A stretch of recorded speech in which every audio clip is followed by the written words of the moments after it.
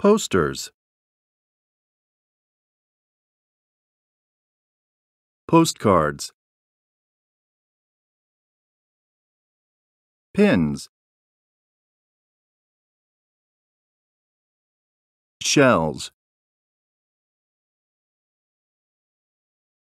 Collection. Listening 33. Listen and read. The children in Class 4B like collecting things. Look at their collections. I have a great collection of puppets. I have 21 puppets. They are in my bedroom.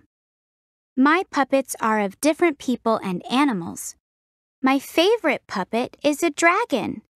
It has many different colors. I tell stories to my family with my puppets. They're really cool. Trang, 10. I love pins, and I have a big collection. I have 50 pins in my house. I wear my pins on my jacket. My friends have pin collections too. I give my friends some of my pins, and they give me some of their pins. Eng, 9.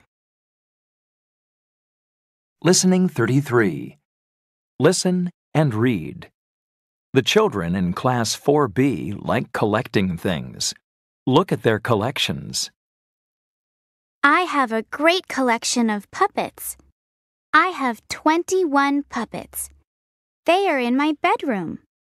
My puppets are of different people and animals. My favorite puppet is a dragon. It has many different colors. I tell stories to my family with my puppets. They're really cool. Trang, 10. I love pins, and I have a big collection. I have 50 pins in my house. I wear my pins on my jacket. My friends have pin collections too. I give my friends some of my pins, and they give me some of their pins. Eng, 9. Listening 34. Listen and match. What do they collect? 1, The children in our class have lots of collections. I know. Look, Dewey has a shell collection. How many shells does he have? He has 100 shells. Wow! 2, Does G have a collection? Yes, she does. She has a poster collection. How many posters does she have? She has 20 posters. 3, Do Hoa and Lan have a collection? Yes, they do. They have a water puppet collection. Look.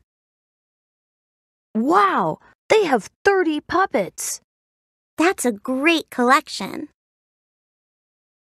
4, Does Sun have a collection? Yes, she does. She has a postcard collection. How many postcards does she have? She has 50 postcards.